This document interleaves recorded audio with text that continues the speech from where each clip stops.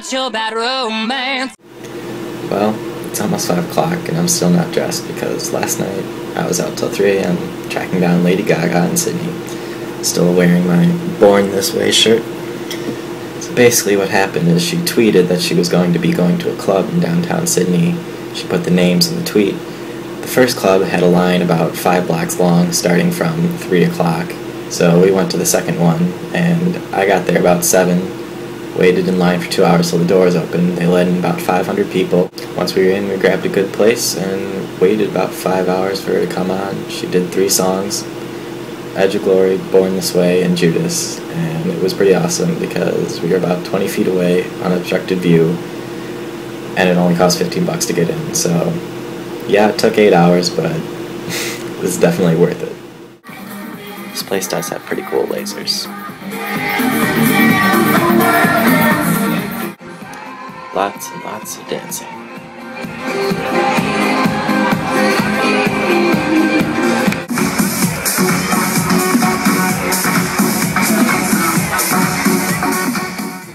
Finally, four hours later,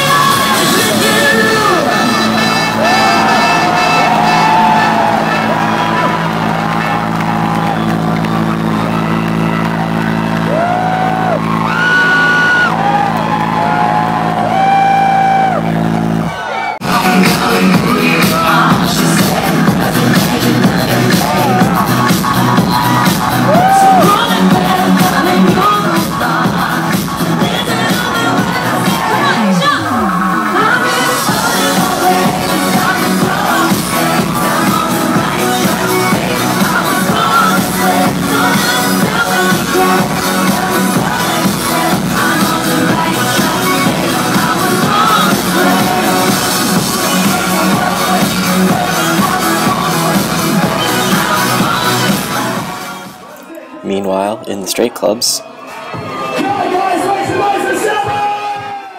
Almost makes you feel sorry for them. That's enough of that.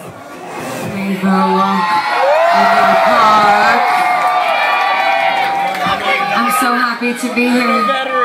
And without Australia, I would not be where I am today.